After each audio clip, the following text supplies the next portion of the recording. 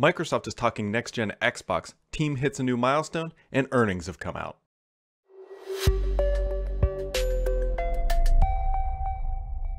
Happy May, everybody. Uh, somehow we all made it through the month of April. Hopefully, everybody's happy, healthy, and everything else is going on. Microsoft has given us a lot to talk about this week. Other companies are also putting out a lot of news. It is starting to kick up into that spring uh, heavy news cycle, and here we are, and I am all about it considering what we've been going through the past several weeks. Microsoft is clearly on the hype train for the new uh, generation Xbox. We've got a lot to talk about, so let's just dive in.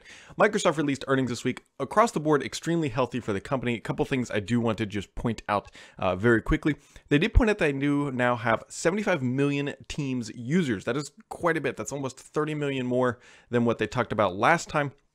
But what I want to point out here is that they also have 258 uh, Office 365 commercial seats. What this, this means is that the company can effectively add another 180 million people to Teams without ever selling an additional Office 365 license. While I know it's not a perfect one-to-one of commercial seats versus potential Teams users, uh, you can kind of see the math there, that there's still a lot of growth ahead. Now, keep in mind that a Teams sale or a new Teams user doesn't necessarily mean that Microsoft is making more money. That means they already had an Office 365 subscription subscription and they are now using Teams. So just kind of keep that in mind. Also, the other big thing that is close to my heart, Surface revenue was relatively flat at 1.1 or 1.3 billion dollars, I should say. It's roughly flat year over year. A bit surprising. I honestly thought it might be up a little bit given what is going on and people rushing out to buy devices, but there were also supply strain, uh, supply chain issues, and we also know that Microsoft is getting ready to launch some new hardware as well. We've seen new headphones pass through the FCC. Uh, we've seen Surface earbuds, uh, the instruction manuals leak. We've seen benchmarks from a Surface uh, Book 3, a Surface Potential Go 2. So there's a lot of Surface stuff right around the corner, and we should hopefully be hearing more about that in the near future. Also, on the Xbox side, Microsoft said that on the content and services revenue, it was up 2%, but there were some other numbers as well that pointed more downwards, such as hardware sales were off quite a bit not a big surprise there.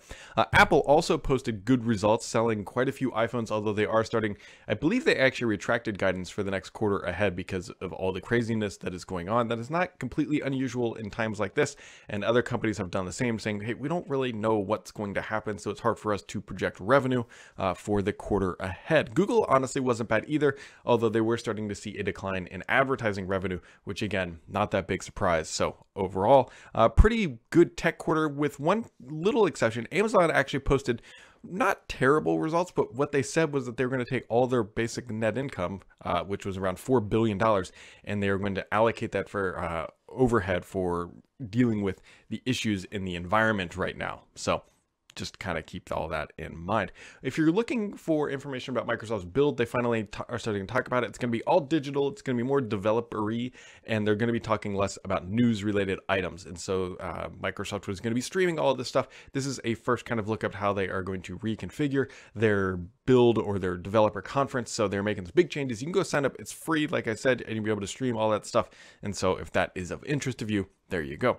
Uh, other things that made big kind of waves the past couple weeks, but need to be clarified. Uh, Zoom got caught in a lie. So they said that they had 300 million daily active users, and then very quietly went back and edited their post and said, we actually have 300 million participants. Now, the reason why that's a big deal is there's a big difference between 300, mil 300 million daily active users and 300 million participants.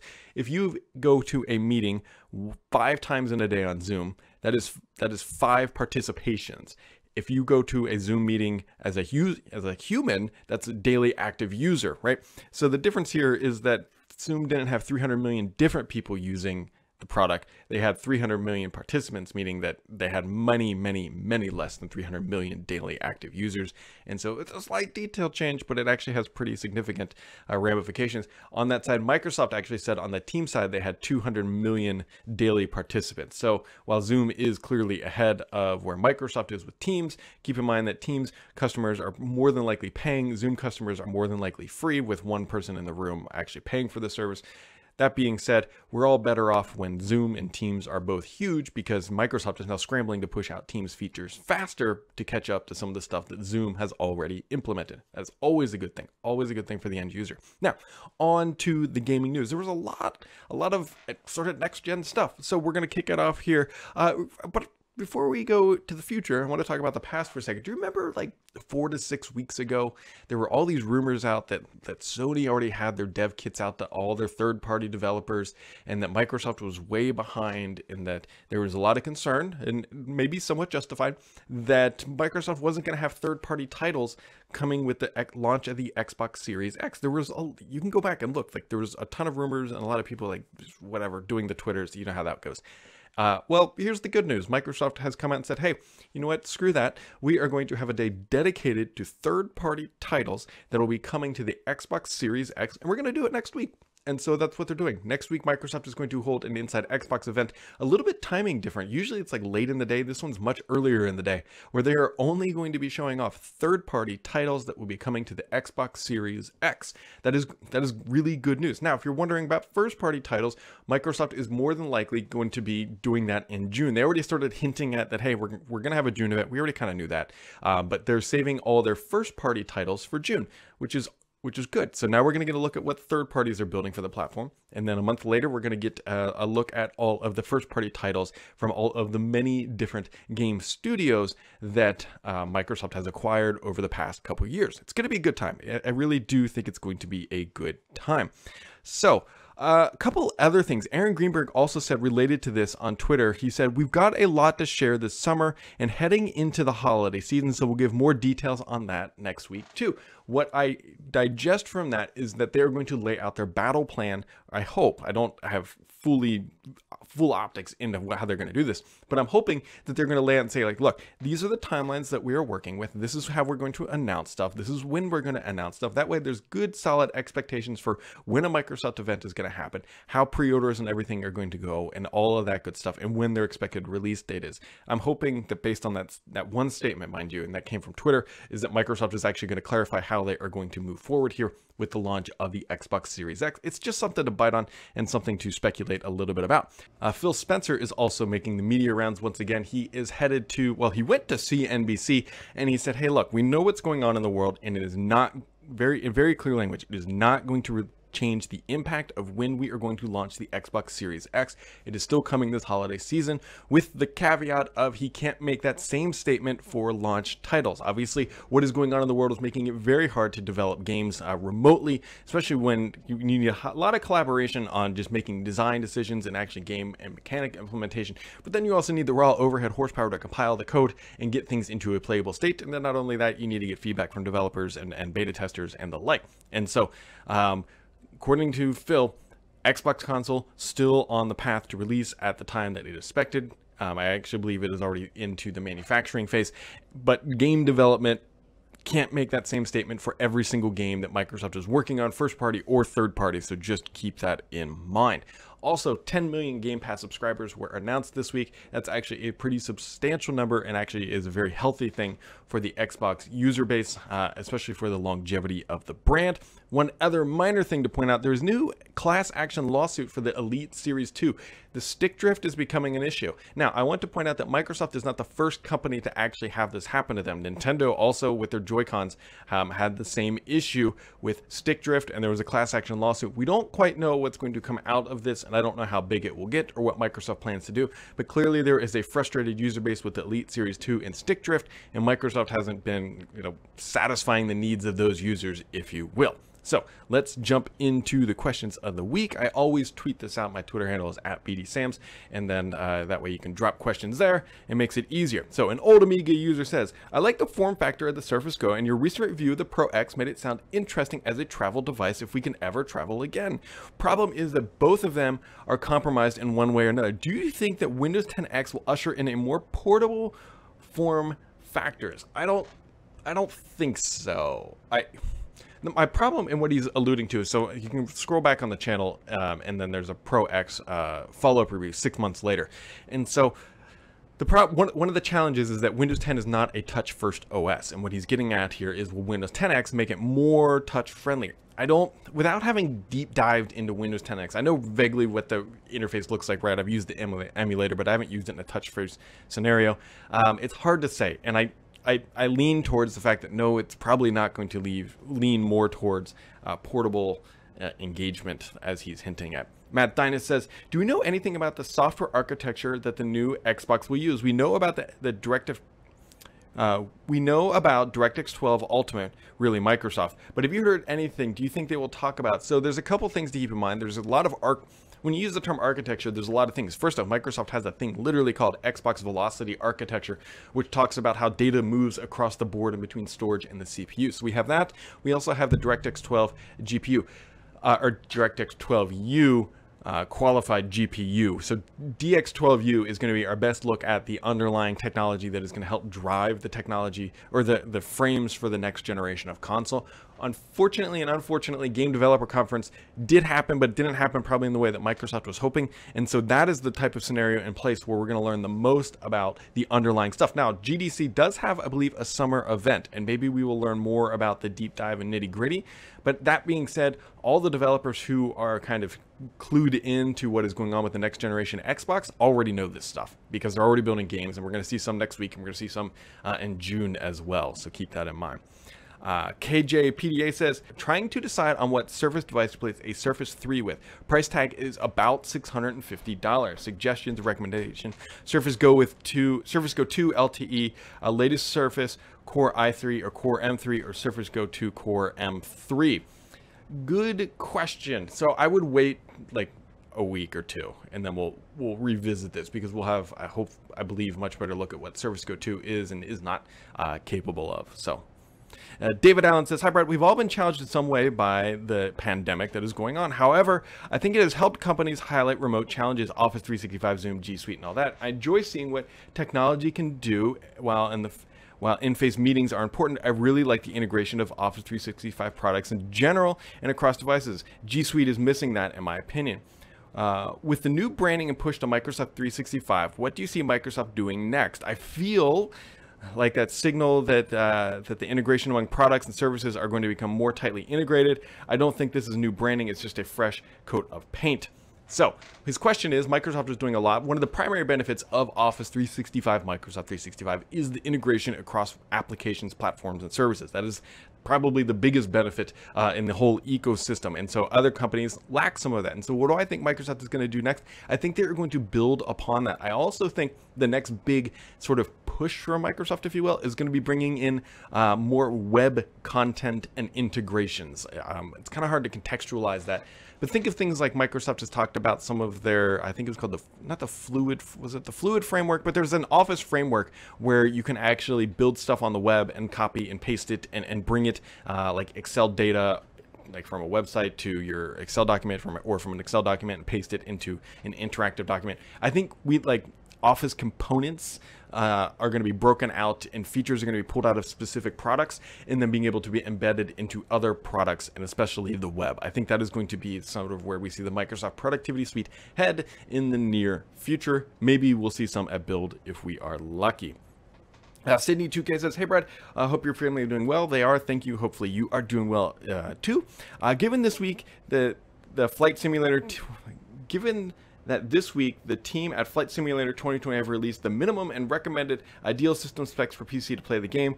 What does the Series X fall within those bounds? So, oh, good question. So, uh, Flight Simulator 2020 creeping along closer to release date, which I you should be excited about.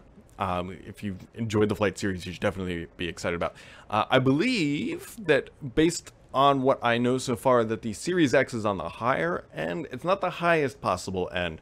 Um, the reason why I say that is there's some other limitations potentially, but I believe the Series X should be able to handle Flight Sim 2020 pretty well when it comes out.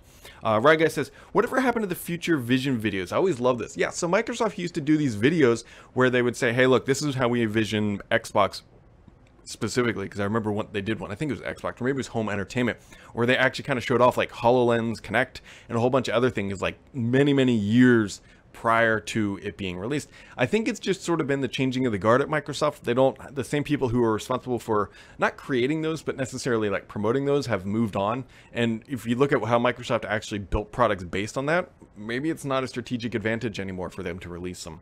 So, uh, Indistinguishable says, Hi, Brad. In your book, Beneath a Surface, uh, well done, by the way, thank you. Uh, you mentioned that the Surface team had uh, had a plan for launching a standalone Surface monitor this year. Uh, is it possible that we'll see that plan come to fruition? A standalone monitor might be the perfect thing to launch alongside a new Surface dock. So if there's definitely not a Surface monitor coming in the spring event, possibly in the fall. One of the things that is a challenge about one when I wrote that book, the book will be three years old. Jeez, uh, I think when yeah when it will it be two years old? I think two years old uh, when uh, this fall. Anyways, so yeah, it will be two years old in the fall. Um, is that a lot of that plan, those plans change. I know that they have a Surface monitor. One of the challenges is that they're originally making the Surface uh, Studio use the same mechanics that were going to be inside the Surface Hub 2X, which has now effectively been canceled. And so I don't know what that means to sort of that modular component that they were building for the Surface Hub 2X coming to the Surface Studio. I don't know what's happening there. I'm not expecting a Surface Studio refresh here uh, in the spring. So I think I'm I'm hoping that in the fall we might see the monitor, but I haven't heard good insight about when that monitor is actually going to be released. So uh, it's a beautiful monitor. I hope that they do. Uh, Choker says, Brad, I hope you're doing well, and thank you for the best thing about your week or your podcast. You guys are awfully humble this week. I'm loving it. Been loving you guys. Thank you. Uh, so I have a few. Oh, he's got quite a few questions, which is okay. Do you know the aspect? Uh, the aspect ratio of the Duo when it is used with one or two screens. No, I I want to say 16 by 9, but don't quote me on that because I don't actually have one, so I can't tell you if it actually is 16 by 9. Uh, do you think that Microsoft should make a Microsoft 365 creator package that includes Office 365 and a, a Final Cut competitor from Microsoft to convince Apple users to go over to Windows? I no. Um, what they should do is potentially create a Microsoft 365 creator package if they're going to go down that road and use something like DaVinci. Uh, DaVinci is actually a really good video editor already on Windows that is not Adobe. And I think it's actually free. Um, so keep that in mind. If you need a good video editor, go look at for at DaVinci. Um, it's got really good grading, grading, color grading capabilities. So, uh, would it be possible for Microsoft to make Windows 10 open source? And why does Microsoft not just make an open source Windows? Because there are too many patented technologies underneath that they don't want an open source Windows competitor. Could they do it? Yes. But there's also a lot of security implications of open sourcing some of their stuff. Yes, you can make the argument that, that hey, like people will just fix it and it'll be great. It'll make things better. You're not wrong, but Microsoft still makes a boatload of money and they don't even want to think about jeopardizing uh, Windows. Not to mention, some of it is really, really old stuff and hasn't been looked at with a fine tooth comb and they may not they honestly just may not want it out there. They could, they could look at it and say look this is kind of sloppy. We don't want this to represent us. Um, and so there you go.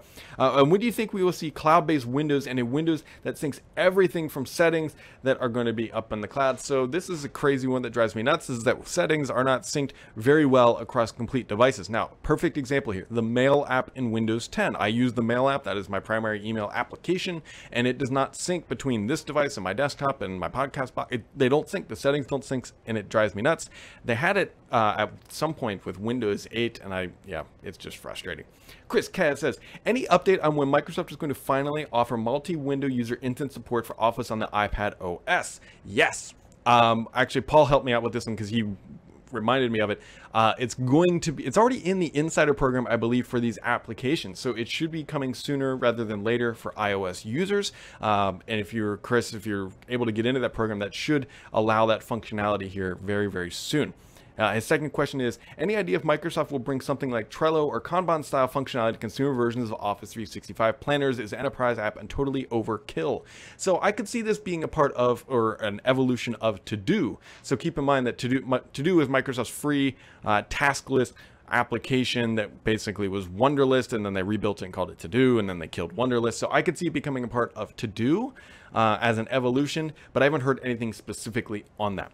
Uh, the Joe Finn says, now that Windows 10X plans have shifted to a uh, a new world or, or shifted to a single view or a single style device. Any word on a public preview? I had heard that there was going to be potentially one uh, as early as this month, but I can't. It, it's hard to lock that stuff down because they could change plans at any time. Um, but don't be surprised if we do see one sooner, hopefully rather than later.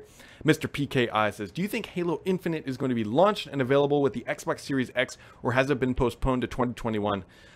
Good question. So Phil Spencer didn't explicitly say that uh, the next gen Halo has been delayed or postponed, but that is the rumors flying around at this point is that with the onset of everybody working from home, that the Halo has been delayed. He did say, again, I think it's worth revis- revisiting his interview yesterday in CNBC, the hardware will launch this fall or holiday season. He can't make the same comment about games, and the reason why I think he's saying that is he already knows in the back of his head that some games or titles are going to end up slipping, and so Halo would not be surprising. I think it'd be a major bummer to not launch without Halo, but here we are. Uh, and then Heretic says, would you recommend the Surface earbuds for sporting activities, running, or exercise? So here's the deal. I haven't used the earbuds long enough to give a good solid opinion either way.